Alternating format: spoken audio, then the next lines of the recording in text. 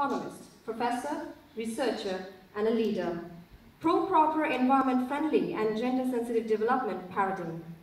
He is known in Bangladesh as well as all over the world banking sector for, her, for his innovative and unparalleled policy implementation to address environment and humanity and comprising economic growth. He has been honored Central Bank Governor of the Year Forum Asia twice in 2015 by the bankers from UK emerging markets from the USA for his innovative and unparalleled policy implementation and central banking to address environment and humanity and comprising economic growth. He has been titled Euromoney as Mr. Rahman touches the ground and it bears fruit.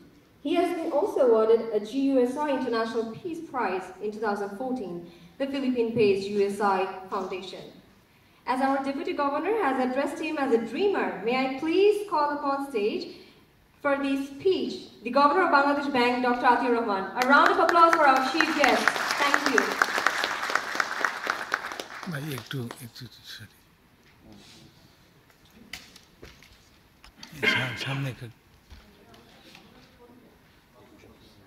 Secretary General of Asia Pacific Rural and Agricultural Credit Association, Mr. Kamnong Siri Ongiata, Deputy Governor of Bangladesh Bank and Chairman of APRACA, Mr. Shitangshu Kumar Chaudhry, Chief Financial Officer of BRAC and BRAC International, Mr. Shiv Narayan Kairy, distinguished participants from abroad and home, friends from print and electronic media, a very good morning to you all. The Central Bank of Bangladesh strongly believes that conventional short-term business cycle focused monetary policy and financial policies do not address the long-term needs of inclusivity and sustainability. Rather, the directionless pumping of liquidity by the name of quantitative easing contributes little in sustaining growth while only heightening the instability risk. As a very little of these reaches to the growth generating startups and SME businesses in the real economy. For some years now, Bangladesh Bank has therefore stepped up to impart a deliberate directional bias channeling financing flows towards inclusive financing of environmentally sustainable domestic demand-driven output initiatives. In fact, we have been following selective easing rather than uh, wholesale uh, quantitative easing, as many people have been trying. Uh, we have been doing this because we felt that if we put money on the ground, and then, then only the, the ground will give you the plants and that will bear the fruits. But if you put the money on, in the air, you know, that will only create bubbles or can go somewhere else. You know, that has been our main concern and we have been really from the day one, you know, uh, I joined as a central bank governor in early 2009. It was in the middle of the global financial crisis, as you know. So our, our drive was to be very selective in terms of providing money to those sectors who really bear fruit. You know, agriculture was one area where, in fact, we really put our focus and really provided a lot of money uh, to really produce more food. There was a time, as you know, Bangladesh, you know, it, back in 2008, Bangladesh was in deep crisis. The food inflation was going up almost 15 plus percentage, and we could not really import food.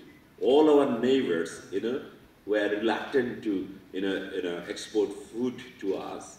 And I thought that was a great lesson. And then we put all our efforts. So by now, we have become not only self-sufficient in food, but we are now, in fact, exporting food to our neighbors. So that's the kind of policies we have taken, and that has also, you know, smoothened our uh, inflation. In fact, food inflation has come down to nearly 5%. So that's how we are really uh, you know, using our monetary policy for sustainable financing. Environmentally sustainable approaches targeting rapid poverty alleviation by opening up advancement opportunities for the un unserved and underserved are our policy priorities in promoting a socially responsible, inclusive, and sustainable financing agenda.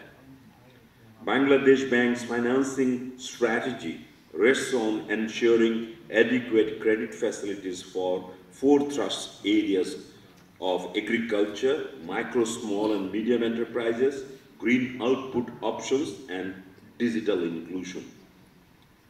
Stimulating rural demand and empowering women also bear significant importance in our financing strategy. Another element of Bangladesh Bank's initiative of mainstreaming socially responsible inclusive financing is the promotion of financial sectors CSR, that means corporate social responsibility engagements in community development.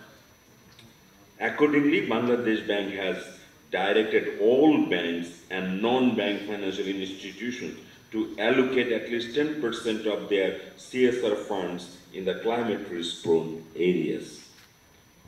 Refinance windows available in Bangladesh Bank provide low cost credit facilities for environmentally benign green output options.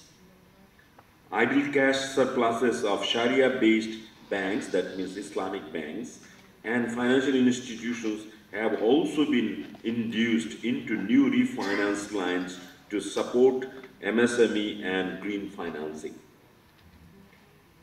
A US dollar 200 million longer term fund from Bangladesh Bank's own resources is being lined up to support green transition of our export oriented textile and leather sectors. We really indeed want to brand our apparel sector as green sector and green apparels, you know, probably people, uh, you know, consumers are very keen on, you know, you know, green brand, and we really want to uh, transform our uh, uh, entire apparel sector into green sector. We have already provided some, uh, you know, refinance support to have platinum rated green apparel factory in Bangladesh. Ours is the number one in the world in terms of rating, you know, platinum rating of, of the green factories that we have been able to refinance from the central bank and the bank. Bangladesh Bank is also among the few central banks that are pioneering environmental risk rating of financing proposals by the lenders. And we make sure that the lenders really don't put in money for carbon producing kind of products, you know, rather they should help reduce the carbon, you know, in terms of uh, going into uh, energy saving and energy conserving kind of, kind of uh, initiatives. For ingraining the green or sustainability into agriculture, which is the, probably the key area of focus for APRACA, uh, Bangladesh Bank has taken diverse policy and funding initiatives to promote sustainable agriculture.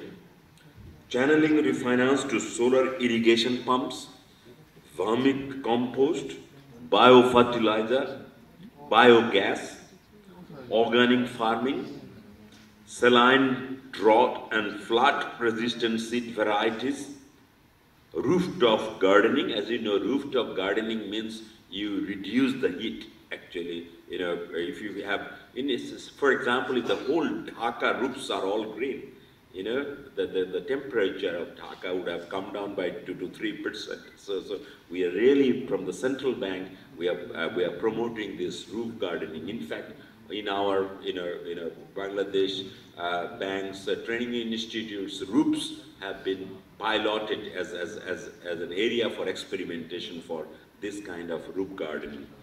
Granting fund from CSR to conservation of wildlife. You know, we have been providing this support from our, even from our own CSR fund for uh, wildlife conservation, for forestation of coastal region and natural crop reservoir, that is cold storage. We have been uh, working with the banks to develop cold storage which are natural You don't need normal electricity, you know, that kind of uh, cold storage. We, already we had one and next one is coming up pretty soon. And we will be encouraging all the banks to provide corporate social responsibility support to have at least one of such you know, you know, uh, natural cold storage so that we have a green cold storage chains in, in, in the, country have really brought the financial sector to line up agricultural financing with green practices.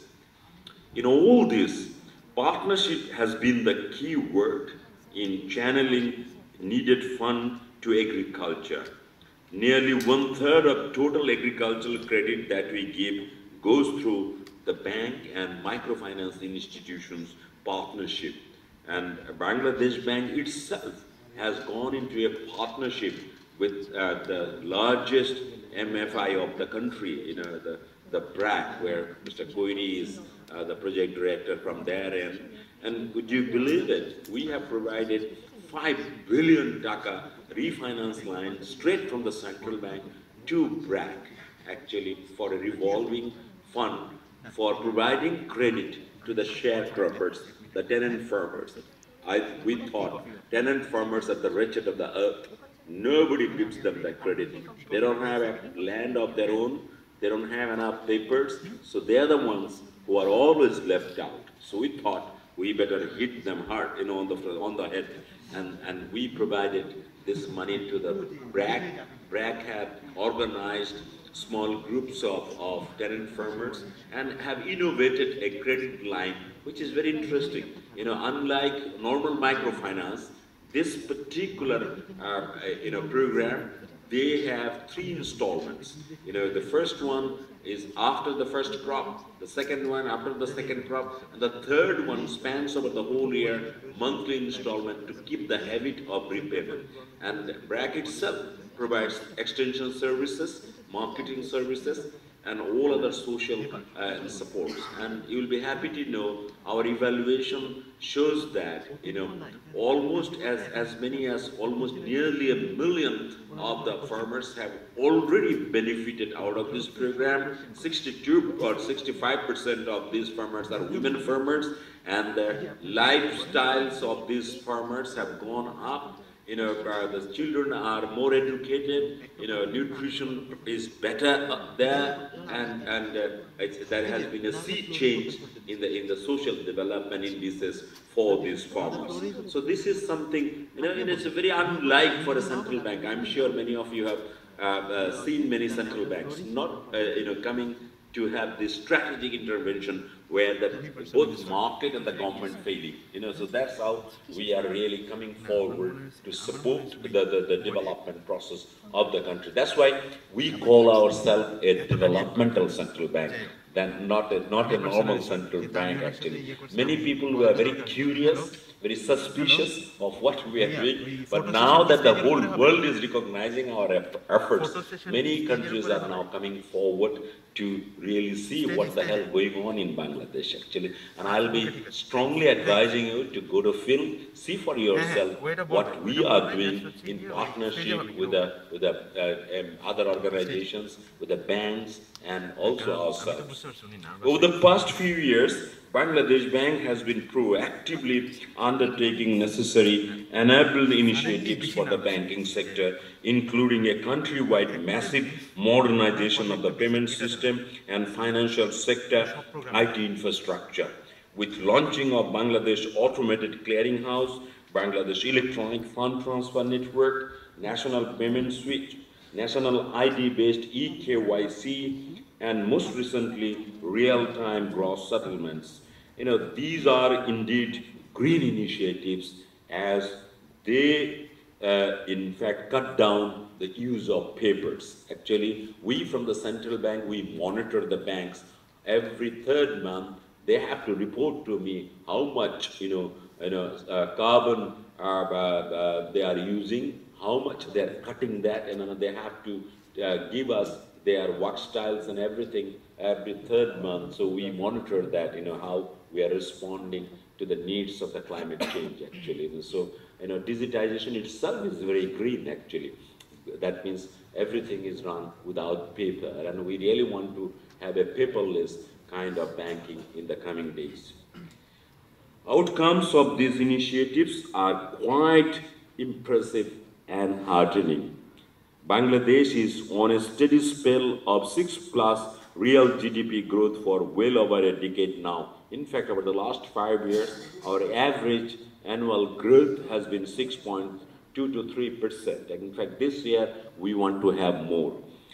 With downward edging single-digit inflation, massive inflows of workers' remittances, rapid poverty alleviation, and impressive trends of social indicators. In fact, our exchange rate you know, uh, is one of the stable in the, in, the, in, the, in the region. This has been most stable over the last two years, in fact. And in the meantime, the reserves have gone over by more than you know, you know, four times over these five years. So, so it's now about seven months worth of import. We have the you know, reserves, which is 27 billion plus. So this is something, this is unprecedented because of the, of the kind of prudent monetary policy we are following.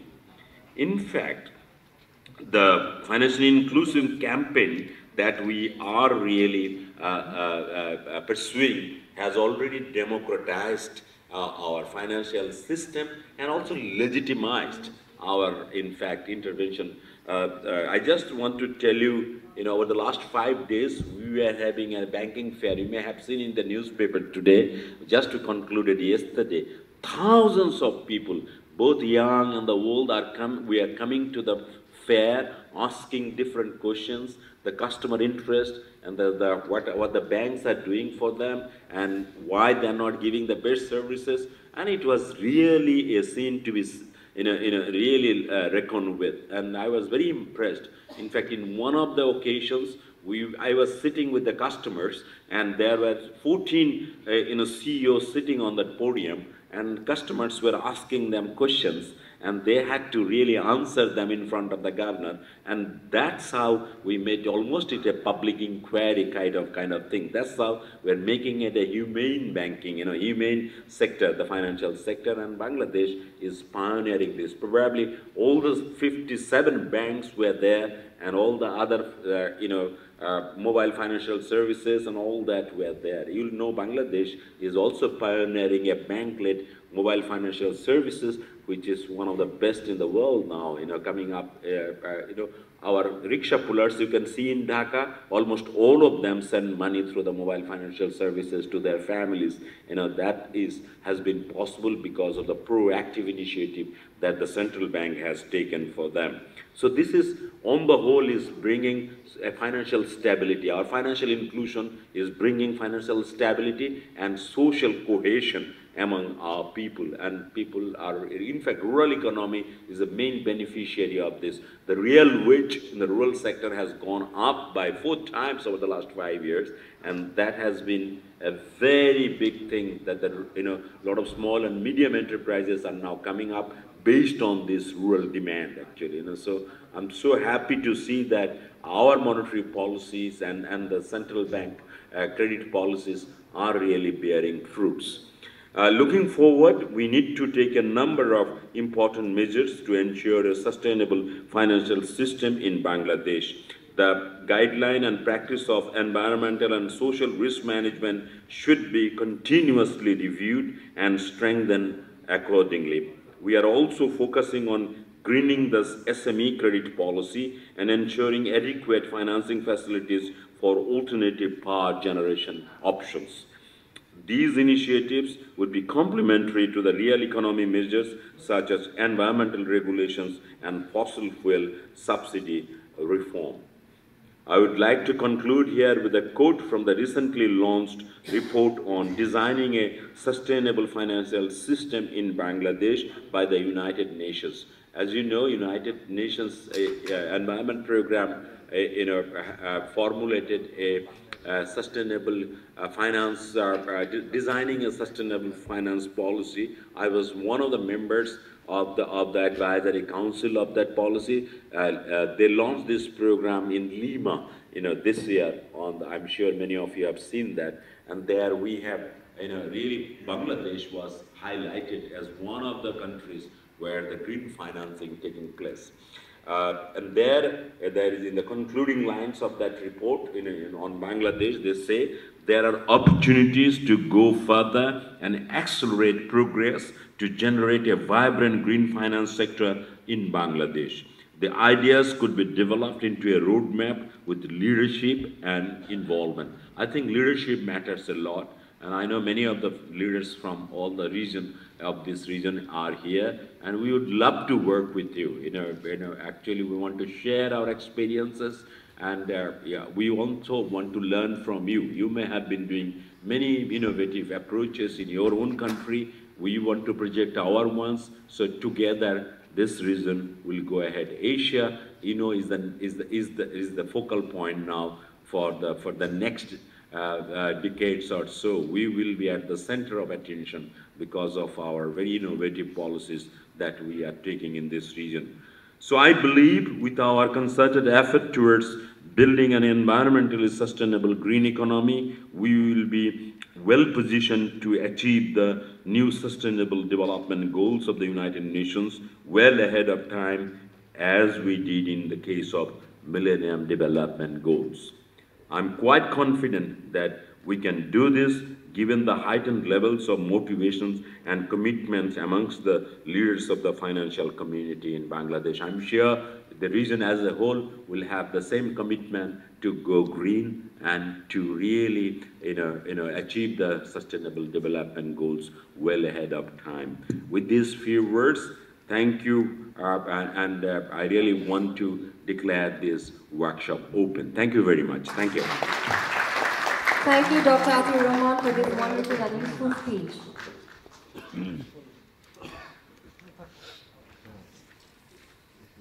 Now, may I please welcome Mr. Chamnong Sri Yongyata, APRACA Secretary General. A round of applause for our APRACA